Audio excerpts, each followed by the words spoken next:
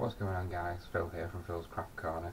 Today I've got myself some acrylic, this stuff, sheet's still on there, some nice black gloss acrylic, I think I got the gloss, not sure if I got matte or gloss, we'll find out when it's when I take the covering off. I'm not sure if it's better to use with the cover on, with the cover off, so we're going to get over to the laser machine and we're going to do some testing, we're going to find out what the best results are, what works for me, and then hopefully you can go from there you can test on your machine to find out what works for you but at least you've got a base to start from.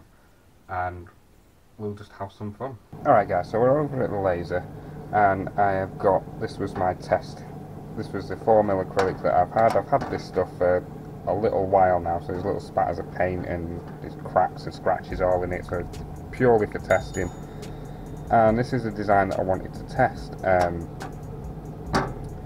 so I wanted to make some keyrings and a lot of my friends like me like cats and I thought this would be a cool little keyrings for people to have. And what I started to do was the first one, I think this was actually the first one that I did and it was very small and this the ear where the key was uh, just broke just snapped straight away so that was no good.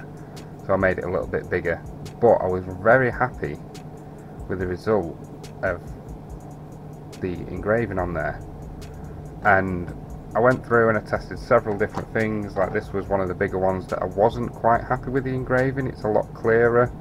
Um, it kind of started to melt and that was using a lot of power. This is basically the minimum power that I can fire on my machine. I think it's roughly around 8 milliamps before my machine even starts to fire. Really really low power and quite high speed. I'm going to do a couple more tests on this just to make sure that I've got these settings dialed in and then I'll move over to the 3mm acrylic and see how we go from there.